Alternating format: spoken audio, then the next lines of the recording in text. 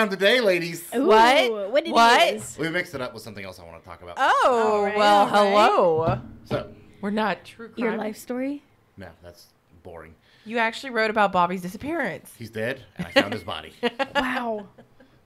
Anyway, no. Uh, By himself. All right, let's open this. bitch. bussy. Cool, cool. Good morning, good afternoon, good evening, Free Rotation Nation. Uh, I am this today. Words. We podcasted for so long. I How do I emphasis. word it?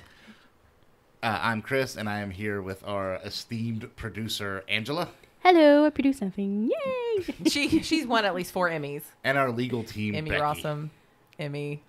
Need another name. Emma Stone. Bobby's still missing or dead or whatever in jail. Who cares? so we've been doing a lot of the true crime and not even true crime necessarily, but maybe like mysterious deaths lately. So keeping in line with that, I've decided to do something completely different again. so to hell with that. We're gonna learn how to make jellies today. That would be awesome, actually. We're gonna be jamming some cannons. What? We're actually going to talk about uh, Project High Jump, which is I've been kind of interested in for a little while. So, after World War II, after 1945, the U.S. Navy basically decided they were going to have a program that went and not necessarily mapped out, but went and investigated uh, Antarctica to see if there was potential for a military base there. And uh, the idea was that they were going to name this base Little America 4. So they sent a as an admiral, like a rear admiral. I think his name. Uh, he, I think he was a rear admiral, but his name was Byrd. so they sent him down there and a team to go do this exploration. And he was exploring the butt end of the world. I was world. about to say Rear Admiral. It took like at least 15 seconds for me not to giggle. Any hoosels. so this was in 1947, um, and l- again, two years. out I mean, two years after World War II ended, we were worried as a nation not so much about Germany anymore, but now it was Russia and the communist threat. So we were worried that they were going to try to get to us, and we were trying to cut off avenues or build our own avenues, places where people hadn't before. So they went to South Pole. Brilliant. He was down there for a few months. They did their exploration, came back. It was they found places where they could build bases, but it was pretty arduous because South Pole fucking sucks most of the time. I was about to say, like, I would not want to be Little America 4. I would want to be living there. What's What's interesting to me is this: they were going to name the base Little America Four. So I actually researched trying to find Little America Two and Three, which don't exist anywhere that I can find on Google. It's that American education system for you.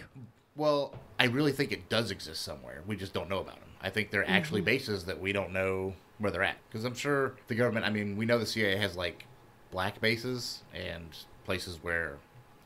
I mean, it could be in North Carolina where they just go take people and torture them, or it could be overseas. I mean, we don't know where those bases are, but we know they exist. So right. Remember Conspiracy Theory, that TV show where he found one of those? yeah, they, I mean, black sites exist all around the mm-hmm. world. We just don't know where It's they're just at. in the middle of big cities sometimes. yeah, I mean, it could it, it could be a room in a building that you mm-hmm. didn't know was there that you didn't have access to. It's like Mattress Firm, where nobody, like, you always go in, they always stay in business, but there's like one guy in there at all times. That place is a drug front for the cartels uh, because nothing else makes sense.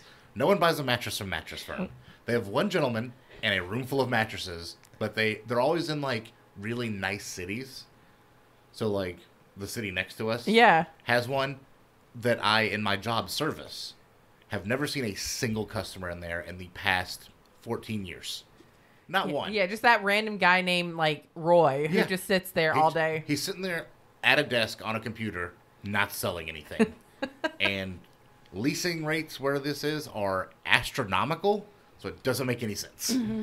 Yeah. Like, there's no way that place is just losing thirty thousand dollars a month and staying in business. That's true. I mean, I guess you could, yeah, it's true. I mean, it has to be a front for something. I assume the cartels. They're just Never seen, I think we went into a mattress firm. Did we buy our mattress from Mattress Firm?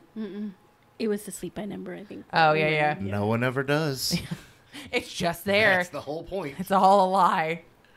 So I assume Little America 2 and 3 exist somewhere. Maybe one's on the moon. I doubt it because this was before the moon landing, or so they tell us.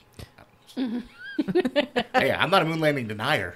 I'm a timeline denier. They did it way earlier than 69. No. Um, nice. so their plan was to go down there, and he was down there from, um, and they, they sent ships, and then to kind of get the outline of where they could land, and then they took planes, and were supposed to fly over to the dead center of South Pole, mark it, fly back, see if it was hospitable. I guess would be the right word for having a, ba- a military base down there. Surprised it's not. Oh, it's shocking. Yeah, it's the Antarctic. It's there's nothing. There are no penguins. It's, it's just awful. It's just cold. just Yeah, we have like scientific bases down there, but even then they stay for like a few months and then leave because it's mm-hmm. just that. awful. yeah. I mean, I don't think it's really meant to be habitable unless you built like a super dome, had artificial light, all that different stuff, central heating and air And air. and air. We don't need we it. don't need any more air. It's just a pipe that runs outside. Can you just picture it? Like that one person who's like, oh man, I'm a little chilly. So they step outside for 15 seconds. They're like, I'm good now. think I'm good. Real, real cool. you good now, bro? I'm an ice cube. So Chris just patiently waited no, for yeah, us. yeah, that's fine. They actually uh, in the Bay of Whales in the South Pole, they actually did send troops and building materials to start building Little America 4. In February of 47, they terminated this plan because the winter was just too harsh for human beings and decided that we could not have a base there. Okay. Makes Um, sense. Admiral Byrd or Rear Admiral Byrd, um, he actually issued a statement after this trip, and this is all U.S. government funded. Admiral Richard E. Byrd, and I'm going to read this specifically from what the newspaper said. He said, so this is a direct quote. Admiral Richard E. Byrd warned today that the United States should adopt measures of protection against the possibility of an invasion of the country by hostile planes coming from polar regions. Huh. The admiral explained that he was not trying to scare anyone, but the cruel reality is that in the case of a new war, the United States could be attacked by planes flying over one or both poles. The statement was made as part of a rec- recapitulation of his own polar experience in an exclusive interview with the International News Service. Talking about the recently completed expedition, Byrd said that the most important result of his observations and discoveries is the potential effect that they have in relation to the security of the United States. The fantastic speed of which the world is shrinking, recalled the Admiral, is one of the most important lessons learned during his recent Antarctic exploration. I often warn that my, co- com- my compatriots that this time has ended where we were able to take refuge in our isolation and rely on the certainty of the distances, the oceans, and the poles were a guarantee of safety. So basically, after all this, when they decided that it's not habitable, ha- hospitable for people, that you can't have a base there, he still came out and said, "Yeah, there, someone can definitely attack us from the poles," Okay. which is Mm-hmm. confusing at best. Well, and wasn't it around the same time that they found that Germany had gone and staked out some sites there? Uh-huh. Well, they know the Germans had been interested in the poles for a while. And that's kind of when they put the thing that nobody can own in Antarctica. Antarctica is its own Yeah. place. But that was Operation High Jump. Basically, they sent him down there with some planes and some ships to see if you could have a base. He said there are some places where you could potentially build a base. They tried it and decided, oh yeah, it fucking sucks down here. Never mind. Byrd still comes out and says we have to worry about the poles, even though apparently we can't build there and stay there. So super not normal. After High Jump ended, there was another operation that was called Windmill that was basically to go down there, and that one was more of a map making expedition to kind of map out the coastline and Kind of see how it looked, right? yeah, Windmill was basically like, okay, he said we could do this, but we clearly can't. Why? Right. So they went down there and tried to map it out. Um, they didn't have a problem mapping it. Again, they've had maps of Antarctica since the 1500s, which is confusing to most people. Can you imagine like the people who are like in the 1500s going down there like, oh, it's getting a little chilly. Well- it's tip it nipply down here. when you're talking about like the the 1500s maps that were made from older maps, Yeah. they're not even sure how those existed because no, they don't they don't think we as human beings had the ability to sail into the Antarctic in No. Wooden ships back then. Yeah. But then you get into the whole Sea King conspiracy and the fact that, like, you know, there are South Americans that have weird genetics that have come from Russia and blah, blah, blah. Well, and it's just like uh we we found out at Fernbank that time that it's literally just a, a, a like a motorboat ride Yeah. to Antarctica from the very tip of South America But even then, it's not great. in, a- in a uh, wooden ocean, ship. Well, that and ocean wise, Right. the currents suck because they're, Yeah. When you think about like wind whipping around a building and you feel Winds it super the hard, east. Mm-hmm. imagine it with like huge land masses and there's a small pass. Yeah. It's and a- there's ice all in the yeah, water. a giant channel of just Yeah. whoosh. So sailing ships down there is not great to the point of where rather than do that, we cut a line through Panama and flooded it because that was a way better plan Yeah. than floating Yeah. around. Yeah, you know what? Right. Yeah, I mean, fuck this shit. We're just gonna cut Yeah. the earth. Thanks for mm-hmm. your land. We're taking it and building a pass because that shit sucks. Yeah. I mean, that's how much it's not great going around. Uh, is it Cape of Good Hope? No? Yeah. And then uh, yeah, Cape Horn Yeah. or something in Africa. Yeah, it's when you go around huge landmasses like that with the water that's current, it it just sucks. And again, rather than do that, we spent trillions of dollars digging chunks of land out of the way that made it easier. Mm-hmm. And then defending it. Yeah, Before was- we were like, hey, here's your land back. What? Sorta, Mm, sorta. Here's your land back. Yeah. We You still- can have it on paper. Here's the Yeah. air. We own it, and we're gonna let you live near it. It's yours. Yes. we we control the locks, we control the canal, we control the traffic through it, and probably I don't know a couple Our canal, yards. your land. yeah. yeah.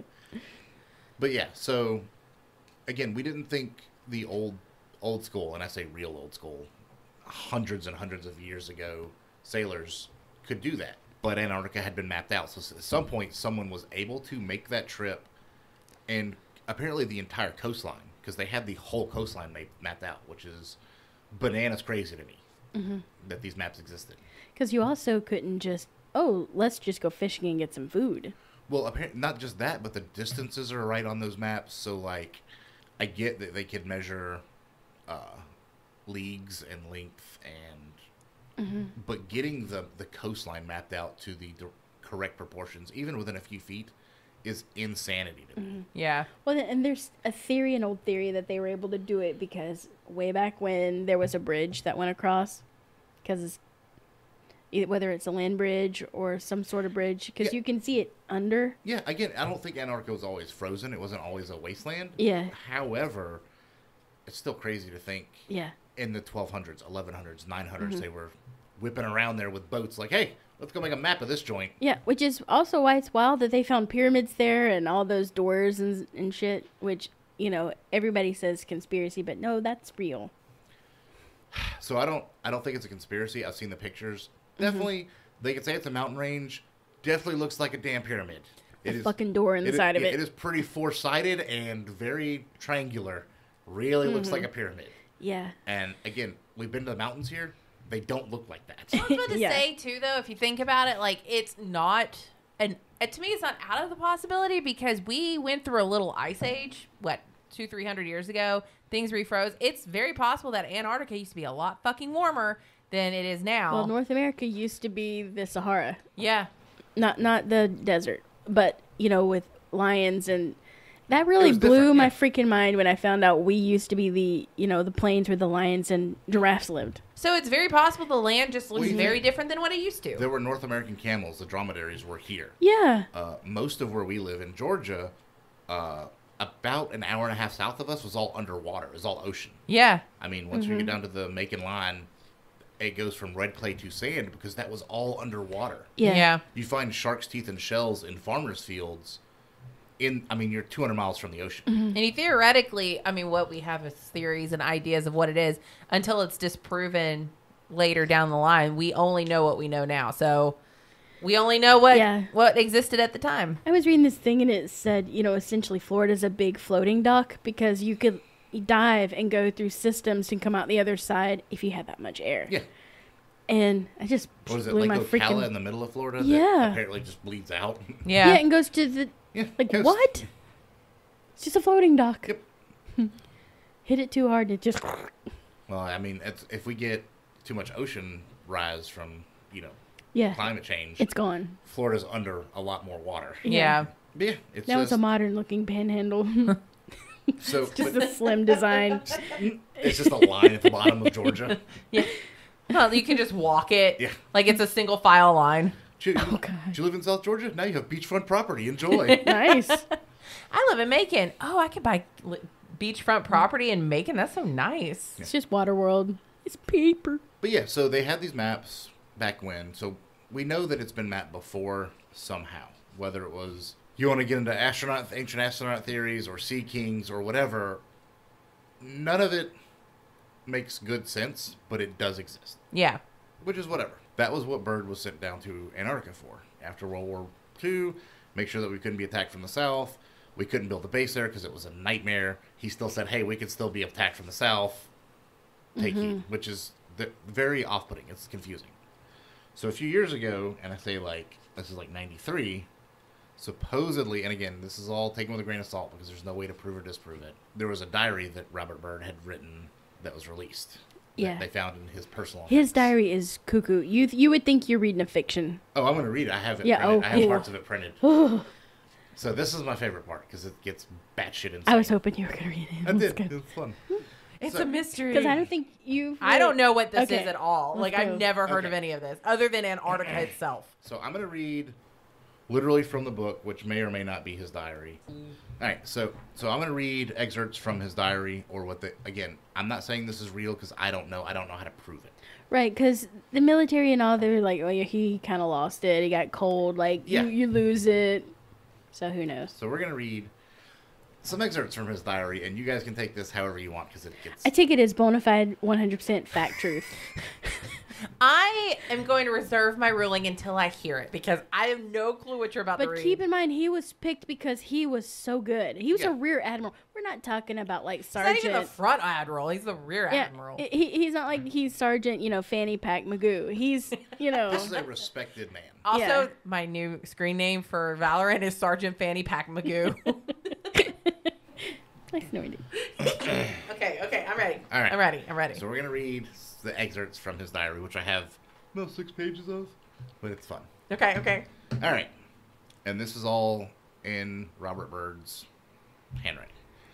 I must write this diary in secrecy and obscurity. It concerns my Arctic flight on the 19th day of February in the year of 1947. There comes a time when the nationality of men must fade into insignificance and one must accept the inevitability of the truth.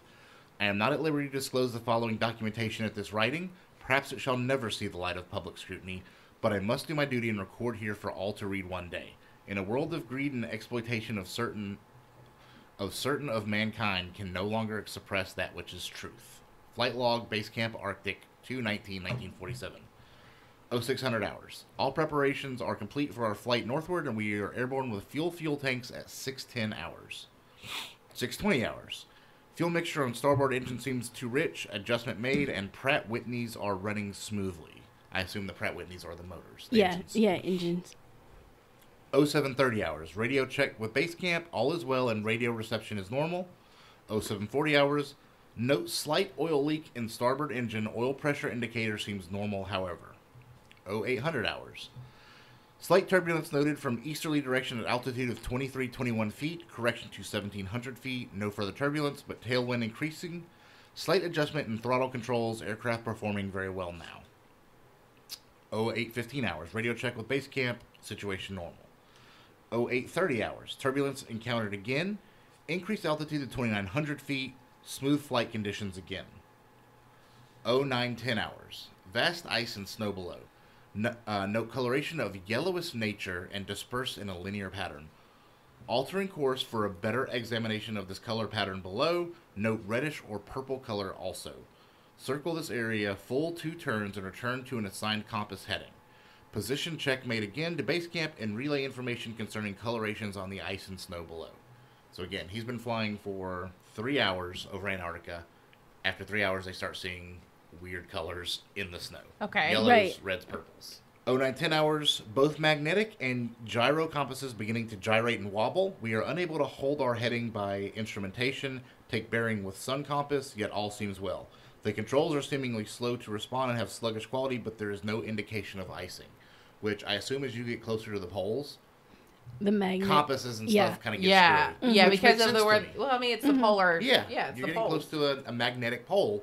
That Right. would seem right. That's why you also have, you know, a, a protractor and an actual compass, not a sun magnet. compass. Yeah. Like we can measure this by which way we need to go. Yeah. So, 0915 hours has been five minutes, and the distance is what appears to be mountains. 0949 hours. 29 minutes have uh, elapsed flight time from the first sighting of the mountains. It is no illusion. They are mountains and consist of a small range that I have never seen before. 0955 hours. Altitude change to 2950 feet, encountering strong turbulence again. uh, 1,000, 10, 1000, so 10 o'clock. 1000 hours. We are crossing over a small mountain range and still proceeding northward as best as can be ascertained. Beyond the mountain range is what appears to be a valley with a small river or stream running through the center portion. There should be no green valley below. Something is definitely wrong and abnormal here. We should be over ice and snow. To the port side are great forests growing to the mountain slopes. Our navigation instruments are still spinning. The gyroscope is oscillating back and forth. Did he end up in the Feywild or something? 1005 hours. Well- I alter altitude to 1400 feet and execute a sharp left turn to better examine the valley below. It is green and with either moss or a type of tight knit grass. The light here seems different. I cannot see the sun anymore. We make another full left turn and we spot what seems to be a large animal of some kind below us. It appears to be an elephant. No, it looks more like a mammoth. This is incredible, yet there it is.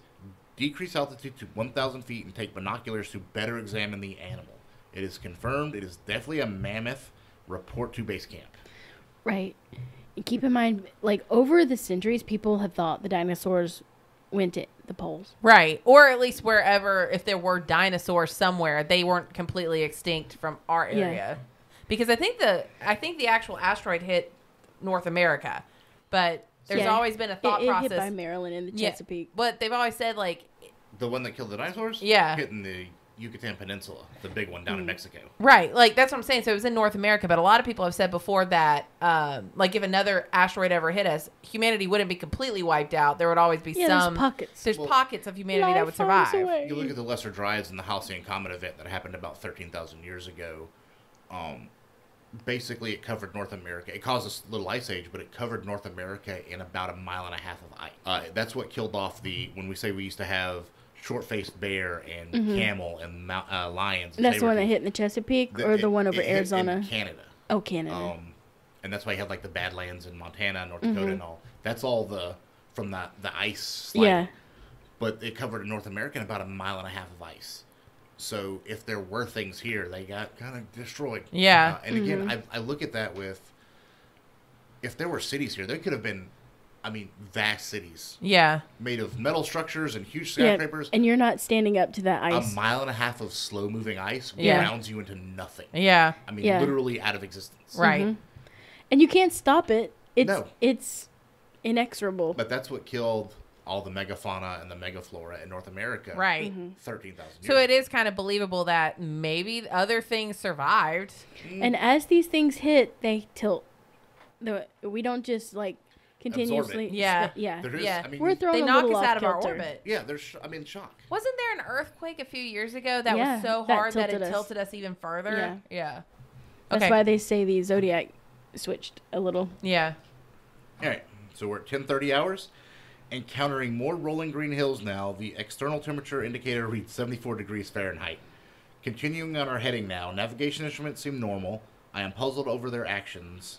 Attempt to contact base camp. Radio is not functioning. So 10, 1130 hours. I've been flying for another hour. Countryside below is even more level and normal, if I may use that word. Ahead we spot what seems to be a city. Impossible. Aircraft seems light and oddly buoyant. The controls refuse to respond. Off our port and starboard wings are sh- a strange type of aircraft. They are closing rapidly alongside. They are disc shaped and have a radiant quality to them. They're close enough now to see the markings on them. It is a type of swastika. This is fantastic. Where are we? What has happened? I tug at the controls again. They will not respond. We are caught in an invisible vice grip of some type. So, they now have UFOs with swastikas on the side of them Huh. coming up. Not aliens. Well, remember we had it, and, and listeners, you may remember we had an episode about a, couple, a series on Hitler and the occult, And where again, it may not have been Nazi swastikas. That's just yeah. it could have Well, you, been you remember the old school pagans had uh, quote unquote The swastika. Hindus. Everybody confuses the pagan good luck and good fortune with swastika. Mm-hmm. Because it's a swastika. 11, Yeah. 11:35 hours. Our radio crackles and a voice comes through in English with what perhaps is a slight Nordic or Germanic accent. The message is, "Welcome, Admiral, to our domain. We shall land you in exactly seven minutes. Relax, Admiral. You're in good hands. I note the engines of our plane have stopped running. The aircraft is under some strange control and is now turning itself. The controls are useless. 11:40 hours. Another radio message received. We begin the landing process now, and in moments the plane shudders slightly and begins a descent as though caught in some great unseen elevator. The downward motion is negligible, and we touch down with only a slight jolt.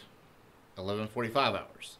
I am making a hasty last entry into the flight log. Several men are approaching on foot towards our aircraft. They are tall with blonde hair. In the distance is a large shimmering city, pulsating with rainbow hues of color. Now, Becky, do you know what this sounds like? It sounds like Asgard It sounds like Tuatha.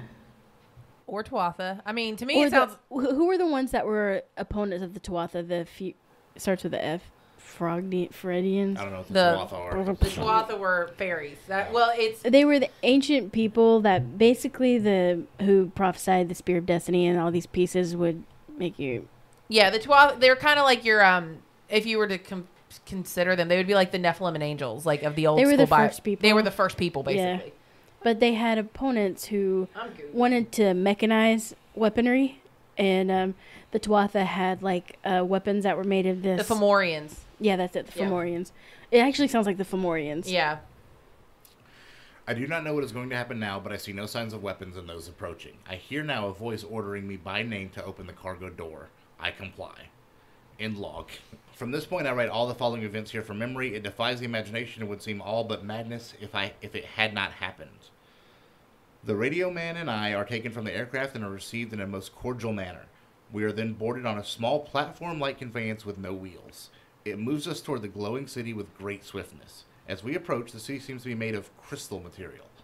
Soon, we arrive at a large building that is a type I have never seen before. It appears to be right out of the design board of Frank Lloyd Wright, or perhaps more correctly, out of a Buck Rogers setting. We are given some type of warm beverage that tasted like nothing I have ever savored before, but it was delicious. That sounds to me like not just Tuatha. I mean, that sounds like, but that also sounds like like Norse mythology, like all the way around, Af- like the mead and stuff like that. After about 10 minutes, two of our wondrous appearing hosts come to our quarters Just keep listening. uh, and announce that I am to accompany them. I have no choice but to comply. I leave my radio man behind and we walk a short distance and enter what seems to be an elevator. We descend downwards for some moments. The machine stops and the door lifts silently upward. We then proceed down a long hallway that is lit by rose colored light that seems to be emanating from the very walls themselves. One of the beings motions for us to stop before a great door. Over the door is an inscription that I cannot read. The great door slides noiselessly open and I am beckoned to enter. One of my hosts speaks. Have no fear, Admiral, that you are in audience with the Master. Huh. I step inside, my eyes adjust to the beautiful coloration that seems to be filling the room completely. Then I begin to see my surroundings. What greeted my eyes is the most beautiful sight of my entire existence. It is in fact too beautiful and wondrous to describe. It is exquisite and delicate. I do not think there exists a human term that can describe it in any detail with justice. My thoughts are interrupted in a cordial manner by a warm, rich voice of melodious quality. I bid you welcome to our domain, Admiral. I see a man with delicate features and with the etching of years upon his face. He is seated at a long table. He motions me to sit down on one of them. After I am seated, he places his fingertips together and smiles. He speaks softly again and conveys the following We have let you enter here because you are of noble character and well known on the surface world, Admiral. Surface world. The surface world, huh? This is Oh wait, the start oh, of Middle Earth. I was about to say. No, it really is. no, I was about to say this sounds like Rivendell. no, this is where people started thinking that Hollow Earth was actually legitimate. I half gasp under my breath. Yes, the master replies with a smile, you're in the domain of the Arianni, the inner world of the earth.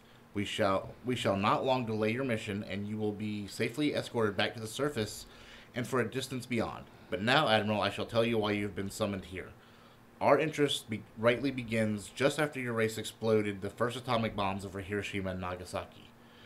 It was the it was at that alarming time that we sent our flying machines, the Flugelrads, to your surface world to investigate what your race had done.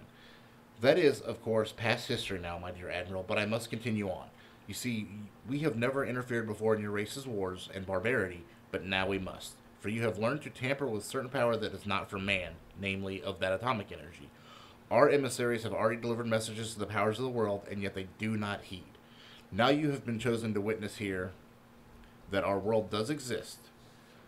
You see, our culture and science are many thousands of years beyond your race. I interrupted, but what does this have to do with me? The master's eyes seemed to penetrate deeply into my mind, and after studying me for a few moments, he replied, Your race has now reached the point of no return, for there are those among you who would destroy your very world rather than relinquish their power as they know it. I nodded, and the master continued. In 1945 and afterward, we tried to contact your race, but our efforts were met with hostility. Our flugel rods were fired upon. Yes, even pursued with malice and animosity by your fighter planes. So now, I say to you, my son, there is a great storm gathering in your world, a black fury that will not spend itself for many years. There will be no answer in your arms, there will be no safety in your science. It may rage on until every flower of your culture is trampled and all human things are leveled in vast chaos. Your recent war was only a prelude of what is yet to come for your race. We here see it more clearly with each hour. Do you say I am mistaken? No, I answered. It appears it happened once before, and the Dark Ages came, and they lasted for more than 500 years. Yes, my son, replied the Master. The Dark Ages that will come now for your race will cover the earth like a pall. But I believe that some of your race will live through the storm. Beyond that, I cannot say. We see at a great distance a new world stirring from the ruins of your race, seeking its lost and legendary treasures, and they will be here, my son, safe in our keeping. When that time arrives, we shall come forward again and help revive your culture and your race. Perhaps by then you will have learned the futility of war and its strife, and after that time, certain of your culture and science will be returned to your race to begin anew.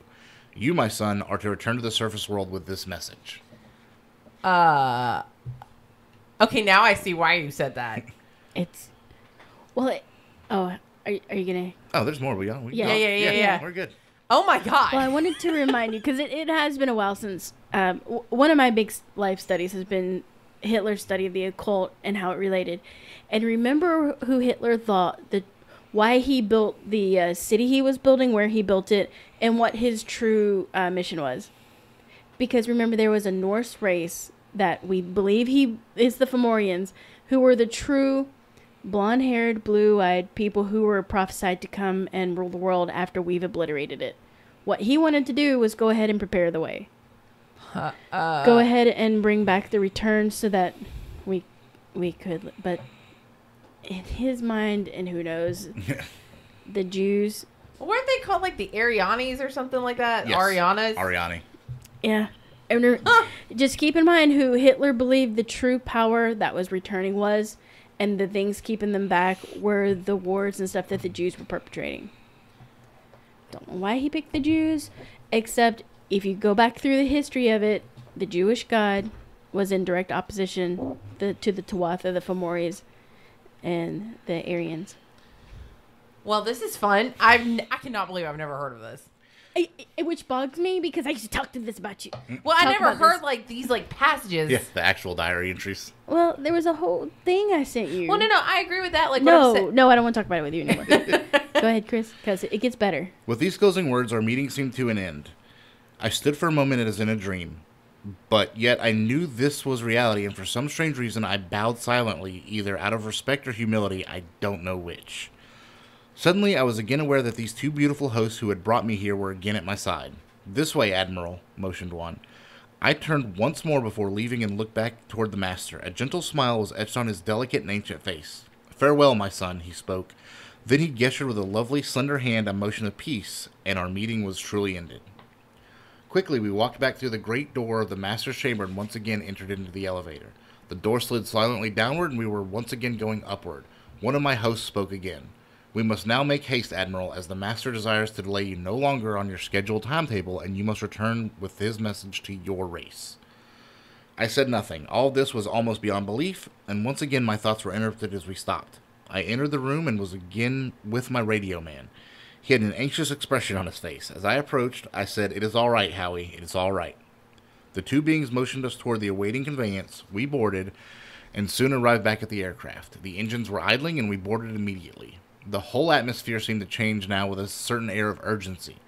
After the cargo door was closed, the aircraft was immediately lifted by an, that unseen force until we reached an altitude of 2,700 feet. Two of the aircraft were alongside for some distance, guiding us on our return way. I must state here, the airspeed indicator registered no reading, yet we were moving along at a very rapid rate. Mm-hmm. So I don't think, again, with that, I wonder with the airspeed indicator, I don't think he's flying. I think they're just moving him. Right, like maybe the one on each side Yeah. was like when you think of like magnetic force, Yeah, like, they whoop. propel, but in the middle is a, a huge force. Yeah, 2.15 hours, so 2 a.m. yeah. A radio message comes through. We are leaving you now, Admiral. Your controls are free. Auf Wiedersehen. We watched for a moment, and the flugel rods disappeared into the pale blue sky. The aircraft suddenly fell as though caught in a sharp down downdraft for a moment. We quickly recovered her control. We do not speak for some time. Each man has his thoughts. Entry into the flight log continues. 220 hours. We are again uh, we are again over vast areas of ice and snow and approximately 27 minutes from base camp. We radio them, they respond. We report all conditions normal. Base camp expresses relief at our re-established contact. 300 hours, we land smoothly at base camp. I have a mission. Uh, end log entries. March 11th, 1947. So this is this was in February, so a month later. I have just attended a staff meeting at the Pentagon. I have stated fully my discovery and the message from the master. All is duly recorded. The president has been advised. I am now detained for several hours, uh, six hours, 39 minutes to be exact. I'm interviewed intently by top security forces and a medical team. It was an ordeal. I am placed under strict orders via the national security provisions of the United States of America. I am ordered to remain silent in regard to all that I have learned. On behalf of humanity, incredible. I am reminded that I am a military man and that I must obey orders. 312 1956, so nine years later, final entry. These last few years elapsed since 1947 have not been kind. I now make my final entry into this singular diary. In closing, I must state that I have faithfully kept with the matter secret as directed all these years. It has been completely against my values of moral right.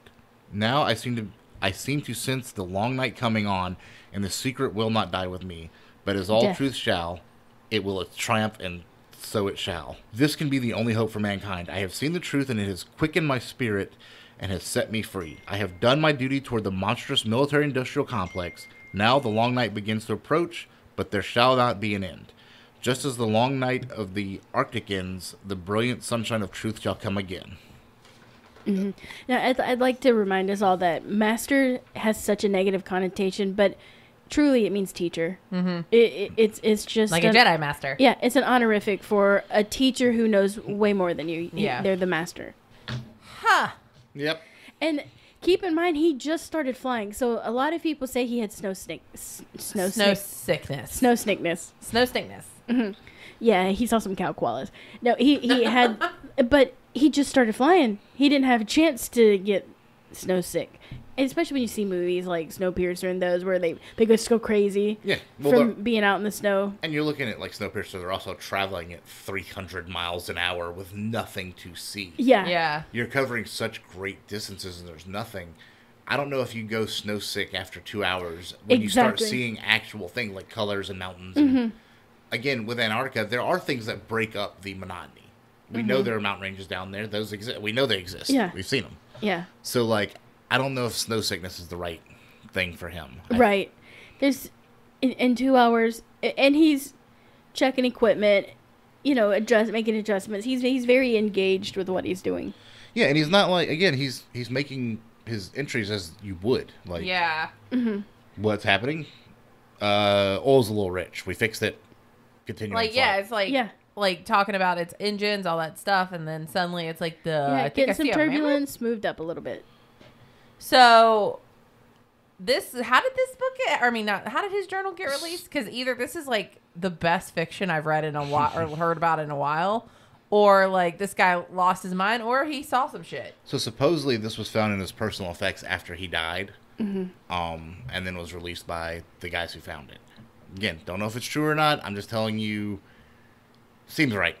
It feels right to me. It fe- Yeah. yeah, it has, especially since the people at the base camp at, when this came out confirmed that yes, he did talk about it when he got there because he wasn't under strictures at the time, Yeah, he could talk about whatever the fuck he saw, which Yeah. is crazy. Yeah. and he he was obsessed with getting this out. He he he did talk about it. They admitted that they've seen some you know some strange shit, I mean, I'm down for this. Like but he I- also has drawings. Yeah. he, he tried to to draw like the land where it, he just happened to see it. Well, I was about to say, isn't I mean, we've had cave drawings of like what's looked like disc-shaped objects, and we're like, Yeah, it's. UFOs. Yeah. and maybe it isn't. Maybe And the it's something from that's a va- an advanced civilization that we just don't know And think about. about it, they they call them flugel rods, and you know a lot of times people say they see what looks like the rod, the cigar box things in the sky, and that is about the time that the U.S. did start its you know where we do know that they were investigating any sort of UFO. yeah, Well, for him to say that Sightings. there were there is a danger of aircraft invading from the poles, even though we knew we could not build a base there. Yeah. Yeah. That's the one I'm like, mm, he knew something was up. And that's all he really could say. Like, Yeah. hey, it is dangerous. It is possible. It is possible, but what it is may not be Nazis. Well, and you, and you know what? You're thinking like, hey, you're gonna. We live beneath you, and you're gonna destroying everything. The other side of that coin is we're not gonna let you. I mean, again, or what happens up here doesn't affect them. So there's like, fuck, Yeah. fuck each other up. We don't want you to die, but if you do, yeah. Well, I know people talk such crap about Hollow Earth, and I, I hate talking about it and talking about what could potentially be there, and like how the magnets run through and blah blah blah. Because even you've given me funny looks, but there were there there is like more things like the two kids that said they couldn't get back home. Their skin was bluish colored. They said they lived beneath the earth. And they could be cave people. I don't know. but they had like these huge eyes. They just were different Right. and they they oh, the didn't greenskin children. Yeah. Yeah. they didn't Well- have a good life because they just wanted to go home Well, because up I here was like hell for them. If you want to talk about, which we've done an episode, we did. I mean, we did a whole like mythology thing, and in the stories of the Tuatha and the Fomorians, humans won and sent them back into the back into the earth. Like the idea was that they didn't just disappear and eradicate completely. Well, because their they went back- with each other Yeah. almost destroyed us. Right. So they were sent back into the earth, and that's why they think like fairy circles are a way in which the fairy you, fairies can take you away and stuff like that. In old Mm-hmm. so Irish the Tuatha stories. thing, Ir- Ireland, UK, Scottish continent. The Fomori's were the more Germanic ones, and then you had the Arianas who were the Celtic Viking. Kind of stayed a little bit out of it, but uh, the Tuatha were attacked by the Fomori, and the Tuatha had powerful weapons for the most part, made out of this uh, sil- like mercury substance. And then the Fomori started adopting mechanical weaponry yeah. after the humans, and then they beat Well, the they talk about like the four weapons, or even in that uh, journal, that you talk about the weapons that they had, like Yeah, these legendary the Spear weapons, of Destiny, the spear of destiny, the, uh, ever, the never, the never-ending cauldron, the chalice of, uh, the chalice of life, but it's whatever it's called in, um, the biblical references, yeah, the Holy Grail. the Holy Grail. Yeah, And then what's the other one? There's four there's, pieces There's of the, the, chalice, the cup, or the chalice, the cauldron, The spear. and then the crown. I think. Is it a crown or a shield? Hold on. It's the one that hasn't been found. Although they think they found it because it. It's the sword, the spear. It's the sword, Right, the spear, right, the, the sword. cauldron, and the stone of destiny. Yeah, The cauldron, I think the cauldron actually is supposed to be the Holy Grail as well. yeah. So they they know they have the spear. I The think- sword is I what- think it's the sword and the stone. Yeah, well, the sword uh, is supposed to be the one that chose the English. Yeah. So all of these have like huge legends going way way back. And The if you legendary put them together, which is why Hitler was looking for them, he had found three of the four. And if you put them together, you become like the undisputed. King of the Earth. Ah. King Kong. I found all seven Dragon Balls. Let's do this. Yeah. Yes. So I think it's the sword that we we haven't been able to. The sword, I think, is the one that's still missing because it was the Mhm. one that chose the kings of England, and then it was lost. yeah, because we know Hitler had um, he even had the crystal skull. Yeah. It was found in an attic in Germany where he'd stored some shit. Well, that is weird. That I've. Yeah. I mean, that's that's some balls to the wall good shit. I mean, I'm down for. I want 100 percent believe it. I want 100 percent believe it. It is fun. I, Yeah. I the Hollow Earth thing to me is just a little like I get where I get the idea of it, but the idea that there's like a subset Well, because it, some people think it's reptilians who live in Hollow Earth, and how do we know it's not? right. But But if these people like like Atlantis and like all these other places that are on Earth that we've heard about, mm-hmm. like these advanced like civilization. Yeah. the pyramids, stuff well, like think that. about this huge, un, un like way underground uh, forest that they just found in China because of a sinkhole opened up, and they're like, my God, it's a whole ancient forest in there. Yeah, Like, yeah, like it, it could be. it could be. It's a mystery. Like I feel like we we aren't the explorers here. We're the explored. We're like the dumbasses, like our our version of it. Like everybody else has figured shit Mm-hmm. like out. how we watch, you know, monkeys figuring out tools and stuff. They're like, oh, look at them. Yeah, but we also like to think that. Yeah. We also want to think that we're not the only things here. And it's, I don't know if it's a God thing or there has to be something better than us. Yeah, because we're awful. People Yeah. are awful. But they're, I mean, I, I, I don't. I'm not gonna say whether I believe it or not, but I will say that there doesn't necessarily have to be anything better than us. That we could be as good as it fucking gets. Yeah. Good But- job, us. Maybe I- the other things are worse. Yeah. Maybe we rose to the top. Hey, get But it. I want to say that guy sounds pretty legit. Like that He shit does. sounds and he legit as has fuck. a really legitimate history. Like it's Yeah. not like he's been brought up for insubordination. But again, making if this isn't if this isn't real, it doesn't matter how good his history is. It's just something that uses his name yeah. because Yeah. and that, it's good. And that is the sad part is like the other question is like maybe they found a journal and maybe he was writing fiction about like what he did. It could be that he was writing a, a book or a short story in the first place or they took it and ran with it. Like maybe they did find like some valleys and forests and they just that all did exist, but then the whole like, Added to it a little added bit. to a little added a little flavor, like a little Salt Bae flavor to it. Like I don't know. a little sauce. I would like to believe it's true. I don't know. I want to believe it's true. But that's pretty good. Yeah, it's one of those things that nobody's really heard about, and I'm like, this is amazing, and everyone Yeah. needs to hear about it. It's And great. now think about what's hitting the news is the uh, archaeologists down there have found these huge um, stone arches Mm-hmm. covered in some kind of writing. It's Yeah. not hieroglyphics. They say, but they well, again, even the Pentagon has admitted they have UFOs or they have craft that we did not make. Right. We may be, we are not they, so they may have made it, and we may have grabbed it or dug it up or whatever. Because I mean, even Bob Lazar said that there were uh, craft that were recovered from archaeological digs while he was working on their Mm-hmm. Uh, propulsion. So again, if that's true, maybe they've been around for a while. well, Maybe someone got drunk and wrecked that shit. yeah. I also like to go back to you know Christopher Columbus crossing the ocean blue in 1492, and in his captain's log is, huh. There were some really weird lights under the water that shot out in um, some kind of moving vehicle. Well, they know like USOs, like even when you talk to uh, Lieutenant Fravor and the Tic Tac UFOs and Go Fast, they go under the water. Yeah. We have film of them or video of it happening, which is insanity. Yeah. I mean, even on Expedition X, they have an entire like episode, and I'm like, this is legit. Like you can tell, but like they're looking and they see what looks like some sort of just- uni- unidentified object, and then they start seeing lights in the water, and it's Apparently, like, uh, it's pretty common off the west coast of the that, U.S. and that's where they were. It was and, in like and up towards, like, San Diego. Canada, Yeah. Prince Edward Island. Yeah.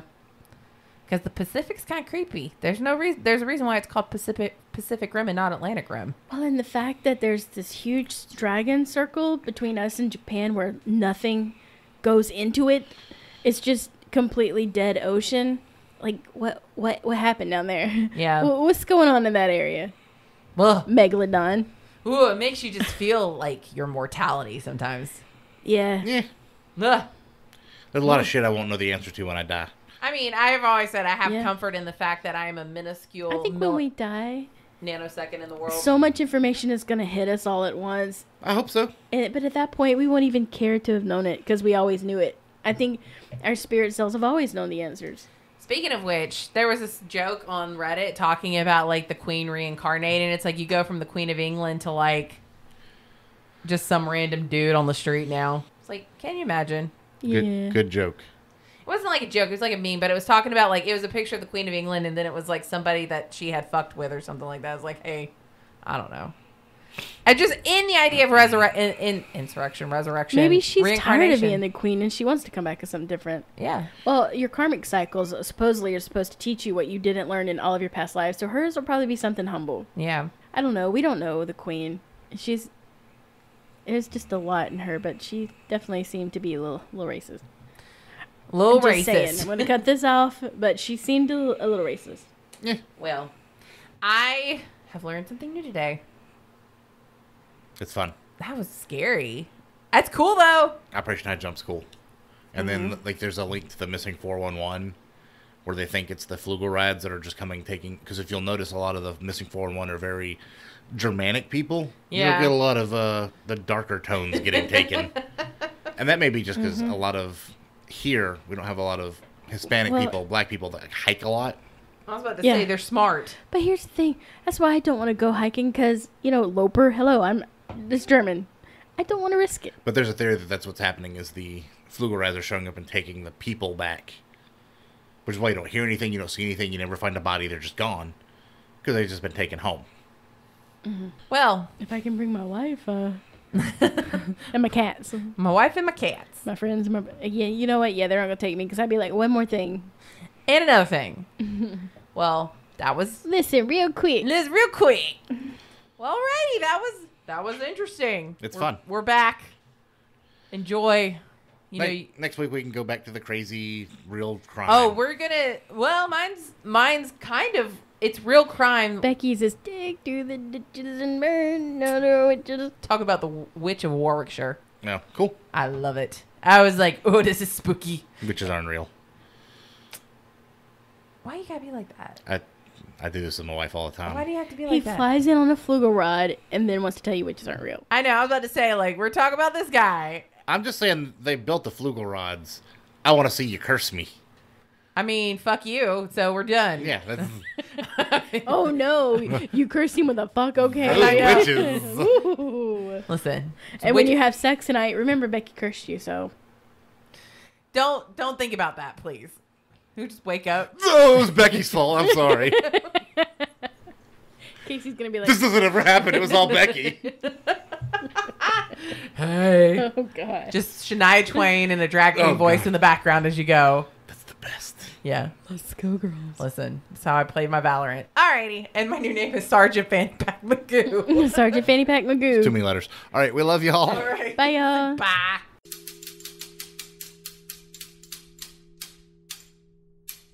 Three